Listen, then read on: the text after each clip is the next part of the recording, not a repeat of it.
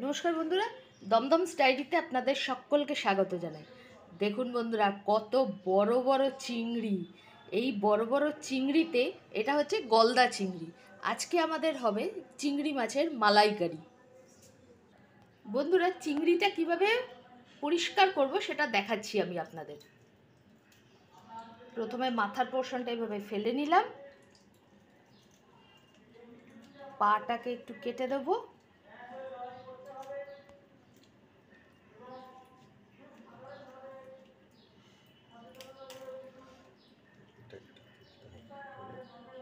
এই জায়গাটা একটু তুলে দেব খোসাটার।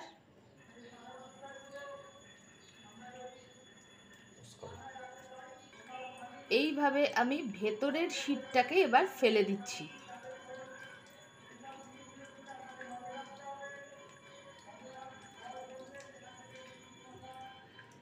এইভাবে আমি প্রত্যেক কটা চিংড়িকে কেটে নিচ্ছি। দেখুন বন্ধুরা, আমি এইটাকে ফেলে দিচ্ছি সেফটি পিন দিয়ে। এইটা অনেক সময় পেট খারাপ, পেটে গন্ডগোল হতে পারে বা পেট খারাপ হতে পারে, তাই জন্যে এই ভেতরের শীতটা আপনারা ফেলে দিয়ে নেবেন। বন্ধুরা, আমার চিংড়ি মাছের মালাই করতে কারি করতে লাগছে। এখানে গলদা চিংড়ি আছে, নুন, হলুদ মাখানো। আমার এটা হচ্ছে পাঁচশো গ্রামের, ঠিক আছে? এরপরে আমার লাগছে এখানে পেঁয়াজ বাটা। এখানে রয়েছে আমার পেঁয়াজ বাটা, একটা গোটা পেঁয়াজ বাটা। তারপরে এখানে লাগছে আমার আদা কাঁচা লঙ্কা, বাটা। একটু টক দই, নারকেলের দুধ, আর এখানে শুকনো মশলার মধ্যে আমার লাগছে প্রথমে হলুদ, তারপরে এটা হচ্ছে লঙ্কার গুঁড়ো, এটা কাশ্মীরি লঙ্কার গুঁড়ো, এটা হচ্ছে গরম মশলা গুঁড়ো, আর ফোড়নের জন্য আমার লাগছে জিরে, সাদা জিরে। এখানে রয়েছে একটা কাঁচা লঙ্কা, আর এখানে রয়েছে গোটা গরম মশলা। শুকনো লঙ্কা একটা মালাইকারির জন্য আমার এখানে রাখছে পাঁচশো গ্রাম গলদা চিংড়ি, নুন, হলুদ মাখানো। তারপরে আমি দিচ্ছি এখানে পেঁয়াজ বাটা, একটা গোটা পেঁয়াজ বাটা। তারপরে আমার এখানে রয়েছে আদা আর কাঁচা লঙ্কা বাটা। তারপরে রয়েছে টক দই। তারপরে আমার এখানে রয়েছে দুধ, নারকেলের দুধ। আর আমার এখানে শুকনো মশলার মধ্যে রাখছে হলুদ গুঁড়ো এটা হচ্ছে শুকনো লঙ্কা গুঁড়ো, কাশ্মীরি শুকনো লঙ্কা, এটা হচ্ছে গরম মশলা গুঁড়ো, আর ফোড়নের জন্য লাগছে জিরে, গোটা জিরে, তাছাড়া লাগছে একটা শুকনো গোটা শুকনো লঙ্কা, তারপরে লাগছে এখানে গোটা গরম মশলা। আমি এখানে কড়াই গরম হয়ে গেছে, সর্ষের তেল দিয়ে দিচ্ছি মাছ ভাজার জন্যে। বন্ধুরা আমার এখানে মাছগুলোকে কিন্তু একটু টুথপিক ঢোকানো হয়েছে যাতে মাছগুলো সোজা থাকে। কাঠের টুথপিক ঢোকানো হয়েছে। এবার আমি একটা একটা করে মাছগুলো ছেড়ে দিচ্ছি।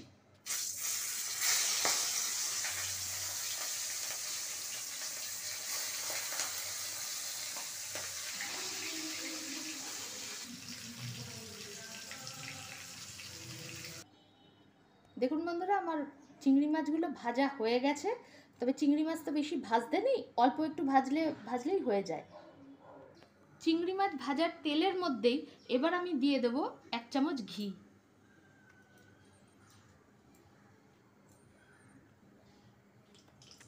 এবার আমি ফোড়ন দেব। ফোড়নের জন্য প্রথমেই আমি দেব দারচিনি, এলাচ, কয়েকটা লবঙ্গ একটা শুকনো লঙ্কা আর জিরে। ফোড়নটা একটু ভাজা ভাজা হলে হোক। এর মধ্যে আমি দিয়ে দেবো পেঁয়াজ বাটা। পেঁয়াজ বাটা দিয়ে কষিয়ে নেব।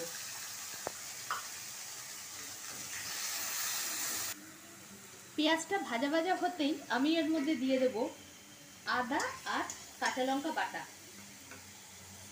এবার এইটা দিয়ে একটু কষিয়ে নেব।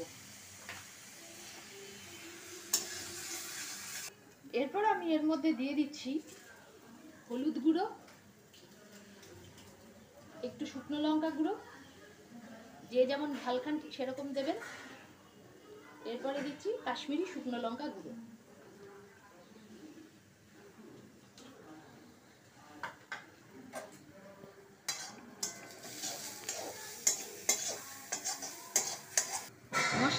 পুড়ে না যায়, তার জন্য আমি দিয়ে দিচ্ছি একটু নারকেলের দুধ।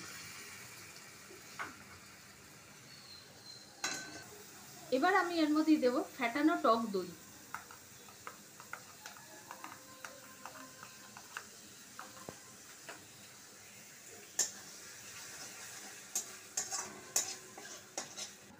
এবার আমি এর মধ্যে দিয়ে দিচ্ছি একটু নুন। যে যেমন স্বাদ মতো নুন খাবেন সেরকম নুন দেবেন।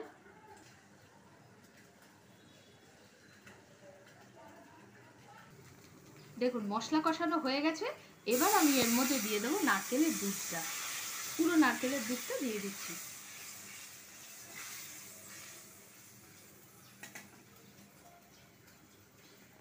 ঝোলটা ফুটে গেছে। এবার আমি চিংড়ি মাছগুলো এক এক করে এর মধ্যে ছেড়ে দেবো।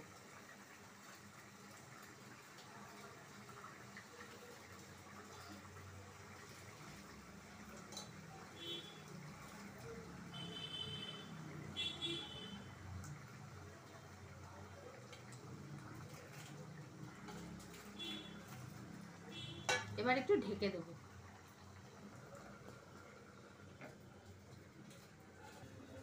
এই দেখুন, আমার রান্না শেষ হয়ে গেছে। এবার শুধু আমি নামানোর আগে একটু গরম মশলা গুঁড়ো দিয়ে দেবো।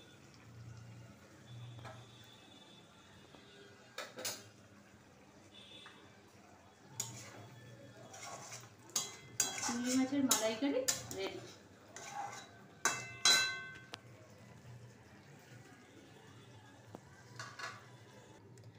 এই দেখুন, আমার চিংড়ি মাছের মালাইকারি প্লেটে ঢালা হয়ে গেছে। আমার রান্নাটা যদি ভালো লেগে থাকে, তাহলে আমাকে একটা লাইক দিয়ে দেবেন, আমার রান্নাটাকে একটা লাইক দিয়ে দেবেন শেয়ার করে দেবেন, আর একটু চ্যানেলটাকে সাবস্ক্রাইব করে দেবেন।